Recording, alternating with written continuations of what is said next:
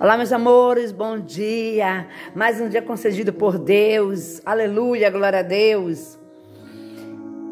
Tema da pregação de hoje: Providência divina.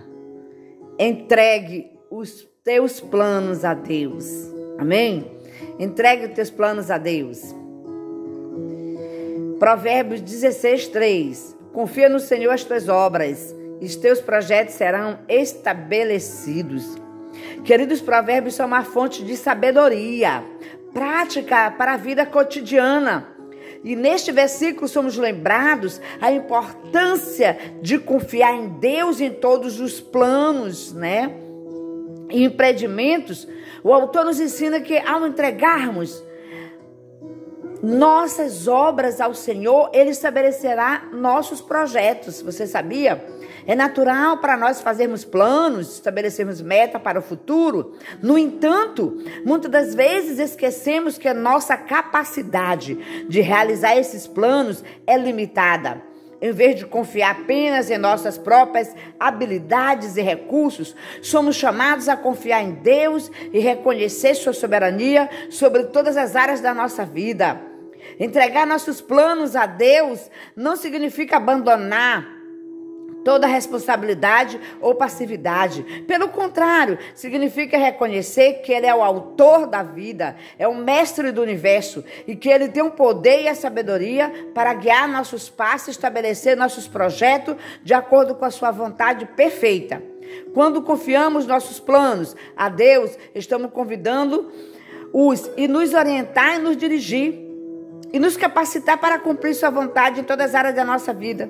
Ele promete nos guiar no caminho certo e nos abençoar com sucesso e prosperidade de acordo com seus planos soberano. Portanto, que possamos seguir o conselho dos sábios provérbios e confiar ao Senhor todas as nossas obras e planos. Que possamos render nossas vidas a Ele e buscar Sua orientação e direção em todas as decisões que tomarmos.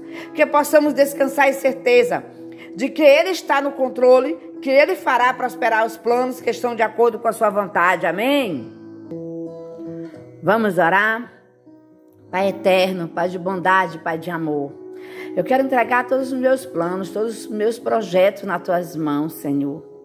Coloque a tua mão poderosa, guia os meus passos, guia a minha vida, Pai. É o Senhor que está no controle de todas as coisas.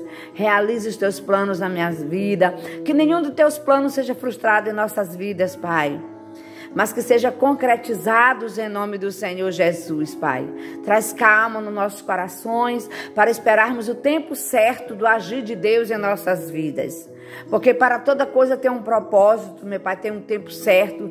E em nome de Jesus, nos ensina a esperarmos o teu tempo, meu Pai.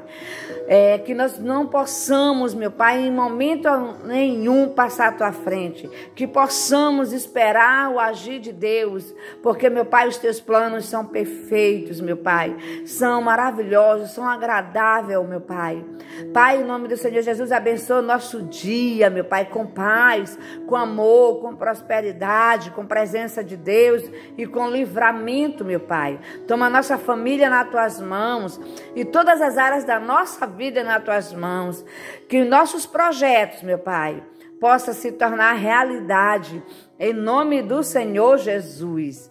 Amém.